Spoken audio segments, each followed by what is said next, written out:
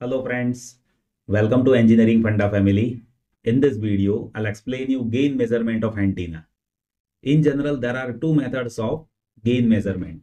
First one is absolute method and second one is comparison method. In absolute method, again there are two categories using two antennas and using three antennas. So here in this video, I'll explain you in total three methods of gain measurement. In absolute method, we have two categories and in comparison method, I'll explain you one method of gain measurement. So let us begin this video with first gain measurement method that is absolute method of gain measurement using two antenna. Here we will be using two identical antennas for gain measurement. Let me explain you how. See, here we will be having transmitting antenna. Here we will be having transmitting antenna. And here we will be having receiving antenna. We will be using two identical antennas, right? So if I say here we have gain of this transmitting antenna that is GT and gain of this receiving antenna if I say that is GR then here as two antennas are identical we have GT is equals to GR gain of both of these antenna that is equal. And here spacing between two antenna that is capital R that is range in between these two antenna. And if I say here we are transmitting EM wave that is having wavelength lambda. So as per Friis transmission equation, ratio of received power divided by transmitted power that will be GT GR into lambda by 4 pi r whole square. Here we are dealing with to identify gain. So if you say GT GR, then here we will be having PR by PT into 4 pi r by lambda whole square. Now I'll convert this calculation in terms of dB. So if you do 10 log of this, then you will be having gain in terms of dB over here. So 10 log of GT plus 10 log of GR that is gain in terms of dB, right? GT in terms of dB plus GR in terms of dB. That will be 10 log of PR by PT plus 20 log of 4 pi r by lambda. See here, this power 2 that will come in front. So 10 into 2 that will be 20 over here. So we have gain in terms of dB as per this equation. Right. Here we are using two identical antennas. Here we are using two identical antennas means gain of GT and GR that is same. So as GT and GR both are equal, you can have resultant gain. So gain in terms of dB that will be that will be two times over here. So here you can say half of this, right? So that is 10 log of PR by PT plus 20 log of 4 pi r by lambda, right? So here, see, we are using two identical antennas by which we can identify gain, right? So here we are using same antenna as a transmitter and receiver. And as per this equation, we can identify resultant gain using Friis transmission equation, right? So that is how we can identify gain. And here one more thing that you need to take care of. See this equation, GT in terms of dB plus GR in terms of dB, that is 10 log of PR by PT plus 20 log of 4 pi R by lambda. That I'll be using again and again in next two methods. So now I'll explain you second method of gain measurement that is absolute method of gain measurement using three antennas. So here what we'll be doing is we will be using three antennas. Here, let us assume we are having three antennas and those three antennas is having gain G1, G2 and G3. Now, here we have three antennas which is having gain G1, G2 and G3.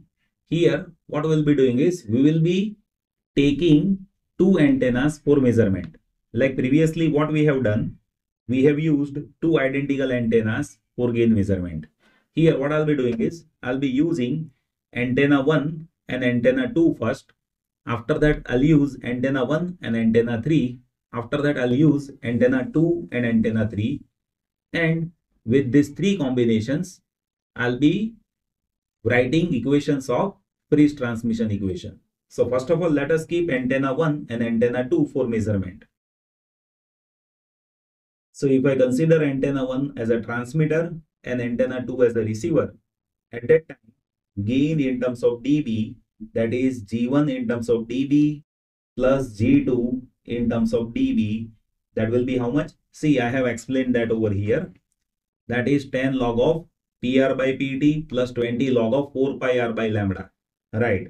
So here, this gain addition, that is 10 log of PR here, C received power that is there at antenna 2. So here I will be writing PR2 divided by PT1 as antenna 1 is transmitter plus 20 log of 4 pi r by lambda. So this is one equation that we have. Similarly, now I'll be using antenna 1 and antenna 3 combination, right? So if you use antenna 1 and antenna 3 combination, then here, see instead of G2, now we'll be having gain of G3 and here antenna 1 is transmitter, antenna 3 is receiver. So received power will be PR3 and transmitted power will be PT1. Here range and lambda that is same as previous case, right? And in third combination, I'll be keeping combination of antenna 2 and antenna 3. So now algebraic sum of gain of antenna 2 and antenna 3 will be there with us. Right. Here antenna 3 that is receiver. So here PR3 will be there and antenna 2 is transmitter. So PT2 will be there and range and lambda that is same as previous case. So now we have three equations. Equation 1, equation 2 and equation 3. Here in measurement we have PT and PR value R and lambda that is known to us. So we'll be having three equations of G1, G2 and G3. So if you have three equations, then you can easily solve three unknowns, right? So one can say based on three equations, we can solve G1, G2 and G3. So that is how absolute methods are there. Now I'll explain you third method that is comparison method of gain measurement. Now see this method is quite easy. Here we have source antenna that is connected with transmitter. And at receiver, we have antenna under test and reference antenna. See reference antenna's gain that is known to us. And we are dealing to identify gain of antenna under test.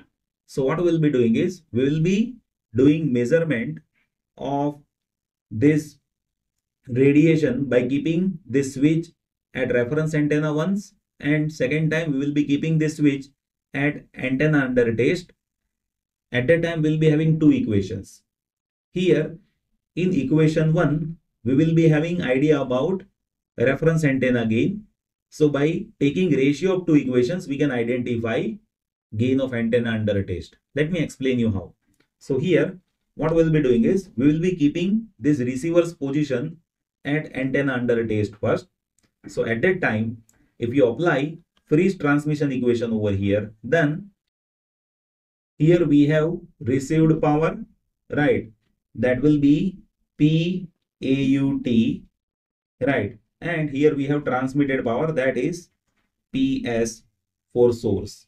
That will be gain of the source into gain of antenna under test into lambda by 4 pi r square. This is what Friis transmission equation, right? Let us say this is equation 1. Now what we'll be doing is we will be keeping this switch over here at reference antenna. So if you keep switch over here at reference antenna, we will be receiving reference power over here, right? So PR will be P reference divided by transmitted power will be of source power that is PS only. That is equals to now see G1 G2 here G1 is gain of source and G2 is gain of reference right? Into lambda by 4 pi r whole square that is what equation number 2 now we have two equations. So if you take ratio of these two equations then on this side this ps that is getting cancelled so we'll be having p of aut divided by p of reference that is equals to see this gs and this lambda by 4 pi r whole square that is getting cancelled so we'll be having GAUT divided by G reference over here. Right. Now, see based on this, we can directly say G of AUT that is this will be going on, going on other side. So G reference into P of AUT divided by P of reference. G of reference, gain of reference antenna that is known to us, right? So by substituting gain of reference antenna, by measuring P of AUT and P of reference, we can identify gain of antenna under test, right? So that is how three different methods are there for measurement of gain of antenna. I hope you have understood this. Still, if anything that you would like to share, just note it down in comment section. I'll be happy to help you. Thank you so much for watching this video.